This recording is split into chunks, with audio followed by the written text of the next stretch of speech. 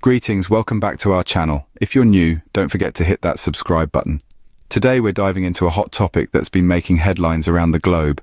We're talking about the controversy surrounding Kate Middleton's alleged cancer diagnosis and the defense mounted by Roya Nikkhah. The allegations and subsequent defense have stirred the pot, sparking a fierce debate and catapulting the issue into the global spotlight. Questions are being asked, theories are being spun, and the truth seems murkier than ever. As we navigate through this controversy, we aim to present you with the facts, the opinions, and the unfolding narrative. The story has taken many twists and turns, with each new revelation adding another layer to the intrigue.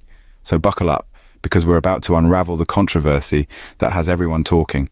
Stick around as we delve deeper into the controversy that has everyone talking. Kate Middleton recently found herself in the center of a storm. A storm that questions the very essence of her character the authenticity of her struggles, and the veracity of her narrative. The Duchess of Cambridge has been accused of a lie that's as staggering as it is controversial. The allegation? That Kate Middleton lied about having cancer. In the heart of this whirlwind, there's a resurfaced report that suggests a different story. A story that speaks not of cancer, but of pre-cancerous cells. This, paired with a doctored photo, has thrown a shadow of doubt over the Duchess's claims. Did she actually have cancer, or was it a case of miscommunication, a misunderstanding, or, as some suggest, a willful deception? The stakes are high. If the allegations are true, it means that Kate Middleton used a devastating disease as a tool for sympathy. It suggests that she manipulated the emotions of millions around the world. Controversy is as complex as it is sensitive. The question remains, did she or did she not have cancer? The world watches and waits as the truth unfolds. Enter Roya Nikkhah, a royal reporter who has come to Kate's defense. Let's delve into the heart of this matter. Roya Nikkhah, renowned for her royal reportage, has taken it upon herself to defend Kate Middleton. Nikkhah presents Kate as a beacon of resilience, a woman who has risen from the ashes of a devastating disease.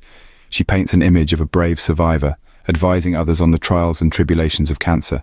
Look closer though, and you'll find this defense is riddled with inconsistencies.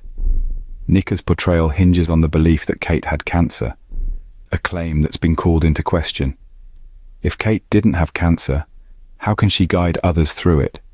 It's akin to a sailor offering advice on traversing the desert. The situation simply doesn't add up. Moreover, Nikkhah's defense seems to conveniently overlook the controversy surrounding Kate's diagnosis. Remember that Kate originally claimed to have pre-cancerous cells, a far cry from a full-blown cancer diagnosis. Nikkhah's narrative seems to disregard this crucial detail, creating a disconnect from the actual unfolding of events. And let's not forget the timing of this defense. It comes at a time when Kate's cancer story is under intense scrutiny, with allegations of fakery swirling around. It begs the question, is Nikkhah's defense an earnest attempt to uphold the truth or a desperate bid to shift the narrative? Nikkhah's defense of Kate also raises questions about her own credibility. As a royal reporter, her role is to present an unbiased view of the royal family's life. But by taking a stance in this controversy, she might be perceived as being partial, which could potentially undermine her reputation. But does her defense hold up under scrutiny? Well, when you peel back the layers of her argument and examine the facts, it seems Roya Nikkhah's defense of Kate Middleton is as shaky as a house of cards. The palace, caught in the crossfire, attempts a media cleanup. As the controversy surrounding Kate Middleton's cancer diagnosis unraveled, the palace found itself in a precarious position. The allegations of fakery and misinformation necessitated swift action a desperate attempt to regain control of the narrative that had spiraled into a web of conspiracy theories and public skepticism. The palace, traditionally a beacon of stability and decorum, was suddenly thrust into a world of damage control. Its response was to embark on a media cleanup, a strategic endeavour to rectify the miscommunication and restore faith in the royal institution. This wasn't merely about clearing Kate's name, but about preserving the integrity of the monarchy itself. However, the palace's efforts were met with criticism. Accusations of inadequate communication and poor handling of the situation were rife. Journalists too found themselves in the line of fire. Their role in spreading misinformation and stirring the pot of controversy was under scrutiny. The backlash was fierce, a stark reminder of the power of the media and the ramifications of irresponsible reporting. Despite the palace's best efforts, the media cleanup seemed to do little to placate the situation. Questions remained unanswered, doubts lingered, and public faith wavered. The controversy had taken on a life of its own, a beast that refused to be tamed by carefully crafted press releases and meticulously worded statements. Yet, the controversy continues to rage on. The palace's media cleanup, in its intent, seems to have fallen short in its execution. As we watch this royal drama unfold, one thing is clear. The truth, whatever it may be, has a way of revealing itself. And when it does, it will be the ultimate judge in this saga of royal controversy. In the court of public opinion, verdicts are swift and often unforgiving. This statement couldn't be truer as we delve into the public perception of Kate Middleton and the royal family in the wake of this controversy. The impact of Kate's alleged lie about her cancer diagnosis has sent ripples through society, sparking conversations and debates on social media platforms and beyond. The court of public opinion is divided. On one side, we have those who laud Kate's openness and her decision to share her journey. They view this as a brave and noble act, a testament to her strength and resilience. They see it as a reflection of the changing approach to royal communication in the age of social media, where direct communication is becoming the norm.